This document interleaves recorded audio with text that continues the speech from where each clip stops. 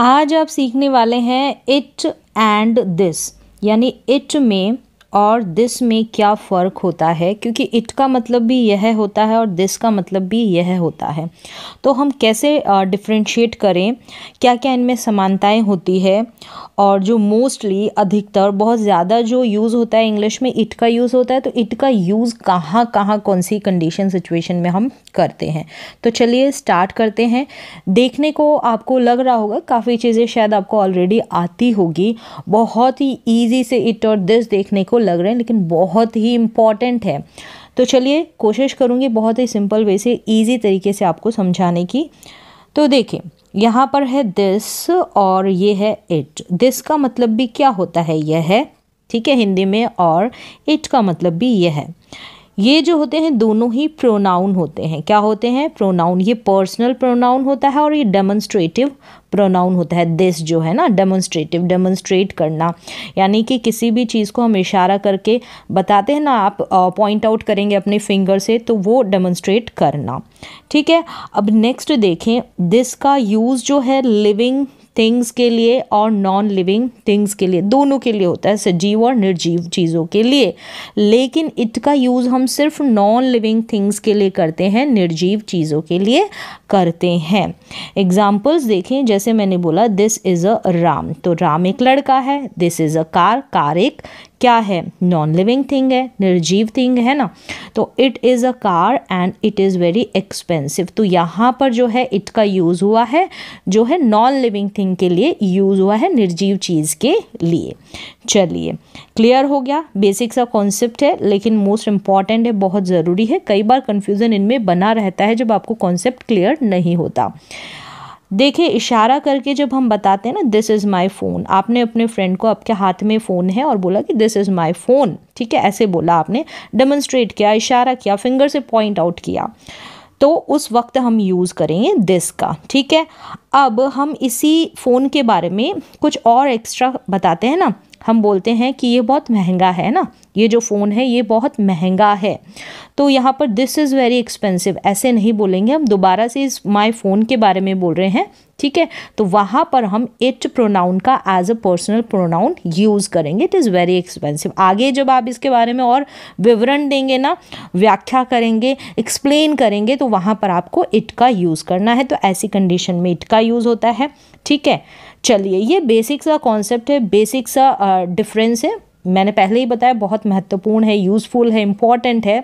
अब देखें दिस का यूज़ जो है, बहुत कम होता है। जो मैंने बता दिया डेमोन्स्ट्रेट करके, जब हम इशारा करके बताते हैं ना तो वहाँ पर हम दिस का यूज़ करते हैं और इट का यूज़ जो होता है इंग्लिश में अधिक होता है, बहुत ज़्यादा होता है। तो डिफरेंस क्या है इनमें सिमिलरिटीज़ क्या है, वो तो आपने सीख लिया है। चलिए एक बार और क्लियर कर दूँ, जैसे यहाँ पर देखिए, ये एग्ज़ाम्पल यहाँ पर दे रखा है कि this is a car this is a car यहाँ पर आप ऐसे बोलते हैं कि दिस इज़ माई कार आपने अपने फ्रेंड को कोई नई कार जो है परचेज़ की है, ख़रीदी है, ठीक है तो वहाँ पर आपने बोला दिस इज़ माई कार ठीक है, आपने ऐसे इशारा किया डेमोन्स्ट्रेट किया फिंगर से पॉइंट आउट किया अपने हाथ को उठाकर बोला दिस इज़ माई कार फिर इसके बारे में एक्स्ट्रा बताएँगे ना तो आप बोलेंगे इट इज़ वेरी एक्सपेंसिव और भी इट इज़ रेड इन जो भी आप एक्स्ट्रा कुछ भी इसके रंग के बारे में, रूप के बारे में, जो भी उस कार के बारे में बताना चाहे तो आप बता सकते हैं। ठीक है? तो वहाँ पर हम दिस दिस दिस का यूज़ नहीं करेंगे, हम दिस को रिप्लेस कर देंगे इट पर और इट प्रोनाउन का यूज़ करेंगे। क्लियर है? तो इस तरीके से ये डिफरेंसेस है इनमें और ये कुछ समानताएँ हैं जो मैंने बता दी। अब इट का जो है ज़्यादा यूज़ होता है, वो देख लेते हैं कहाँ कहाँ पर होता है। इट का यूज़ एज अ सब्जेक्ट होता है, ठीक है?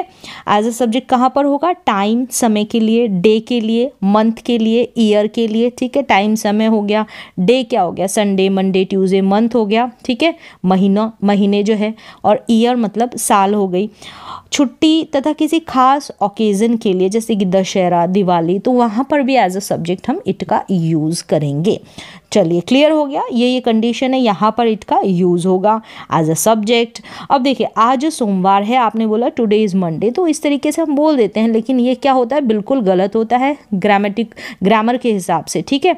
तो हम बोलेंगे इट इज़ मंडे टुडे हम इट का यूज़ करेंगे एज अ सब्जेक्ट टुडे का यूज़ नहीं करेंगे। Today is Monday is wrong ये गलत है, ठीक है? ये बिल्कुल गलत है इट इज़ मंडे टुडे आप इस तरीके से बोलेंगे। आज सोमवार है, आज मंगलवार है, जो भी आप महीने की मंथ की डे की बात करें ना। अब देखें, इसी तरीके से होमवर्क मतलब दो, तीन सेंटेंस मैंने यहाँ पर दो सेंटेंस आपके लिए लिखे हैं कि कल रविवार था। तो वॉज़ वर और इज़ एम आर का यूज़ कर दे। था तो वहाँ पर वॉज़ वर का यूज़ कर देंगे। कल छुट्टी है, ठीक है? कल छुट्टी है। तो इन दोनों सेंटेंसेस को आप as a subject it pronoun का यूज़ कर कर आप बनाएँ, ठीक है? और मुझे प्लीज़ कमेंट सेक्शन में ज़रूर इनका आंसर दें। मुझे अच्छा लगेगा। तो यहाँ पर आपको एक चीज़ और ध्यान रखनी है कि पास्ट और प्रेजेंट में जैसे हम वॉज़ वर का यूज़ करते हैं तो आप सेंटेंस के अकॉर्डिंग लगा देंगे, लेकिन इट के साथ वर का यूज़ नहीं होगा। इट वर नहीं होगा इट वॉज़ होगा। सिंगुलर सब्जेक्ट है तो इट वॉज़ इट इज़ हो सकता है। इट आर नहीं होगा इट एम नहीं होगा, ठीक है? इट इज़ या इट वॉज़ पास्ट की बात करेंगे तो। अब यहाँ पर इट हैव नहीं होगा। इट हैव नहीं होगा इट हैज़ होगा या इट हैड होगा, ये ध्यान रखना है। जैसे अभी मैंने मेंशन किया कि वॉज़ वर्ड लगा देंगे इज़ एम आर लगा देंगे तो इट के साथ इट इज़ लगेगा इट वॉज़ लगेगा इट हैज़ लगेगा इट हैड लगेगा, लेकिन हैव नहीं लगेगा। हैव ठीक है? हैव नहीं लगेगा इट हैव लगा दें या इट वर्ड लगा दें, ये नहीं लगेगा, ठीक है? तो ये सेंस आप समझ जाना, जो भी मैंने बोला है। चलिए नेक्स्ट देखिए, आज मेरा जन्मदिन है। खास ओकेज़न है जन्मदिन। तो it is my birthday today today is my birthday नहीं बोलेंगे, बोल देते हैं जो गलत है ग्रामर के अकॉर्डिंग तो it is my birthday today it is my birthday today ठीक है? आज बहुत ठंड है तो it is very cold today ठीक है? कल बहुत ठंड थी तो it was very cold yesterday तो इस तरीके से हम इट का यूज़ करेंगे। जब आपको मौसम तथा ऋतुओं के लिए बात करनी हो ना, वर्षा की बात, ओले की बात, ओला मतलब ओला हेल ठीक है? हेल बोलते हैं इंग्लिश में। और वर्षा, यानी कि जो rain as a verb hail और रेन का यूज़ होता है। ठीक है? बर्फबारी होती है तो वहाँ पर मौसम से रिलेटेड ऋतुओं से रिलेटेड जो भी सेंटेंसेस होंगे ना, वहाँ पर इट का हम यूज़ करेंगे। जैसे बारिश हो रही है it is raining it is raining कल बारिश हुई इट रेन्ड यस्टरडे देखिए rained as a verb rain की सेकेंड फॉर्म का यूज़ हो गया सिंपल पास्ट टेंस है तो इसलिए तो यहाँ पर हम इट का यूज़ करेंगे। ठीक है? ऐसी कंडीशन में गर्मी है, ठीक है? सीज़न यानी ऋतु के बारे में बात कर रहे हैं कि गर्मी है, गर्मी का सीज़न है ना तो it is summer it is summer तो यहाँ पर आपने समझा कि ऐसे ऐसे सिचुएशन में कंडीशन में हम यूज़ करते हैं इट का। चलिए नेक्स्ट देखें इट का यूज़ समय हो चुका है। ऐसा सेंस निकले ना? कोई काम करते हुए आपको समय हो चुका है या हो गया है। तो आप इट हैज़ बीन का यूज़ करेंगे, समय हो चुका था था है ना? तो इट हैड बीन आ जाएगा। हो गया था, समय हो गया था तो it had been it has been हो गया, यानी कि समय हो चुका है, हो गया है, और इट हैड बीन समय हो चुका था या हो गया था। तो वहाँ पर भी हम इट का यूज़ करेंगे। ऐसे समझ में नहीं आएगा। एग्ज़ाम्पल देखें। जैसे कि दो दिन हो गए हैं तो समय हो चुका है या हो गया है तो दो दिन हो गए हैं। कैसे बनाएँगे it has been two days it has been two days मतलब दो दिन हो गए हैं। ठीक है? दो साल हो चुके हैं, हो गए हैं तो it has been two years it has been two years सात घंटे हो चुके हैं। इट इट हैड बिन यहाँ हो चुके थे है। तो it had been seven hours it had ठीक है हैड आ जाएगा, चुके थे।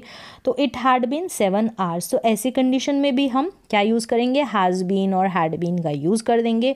अब यहाँ पर टू मी टू हर इस तरीके से बताना है ना? समय के बाद में किसे हो गया है कि मुझे, तुम्हें, उन्हें, उसे इस तरीके से तो आप बोल देंगे to me to him to her to them इस तरीके से भी आप ऐड कर सकते हैं कि मुझे दस दिन हो गए हैं।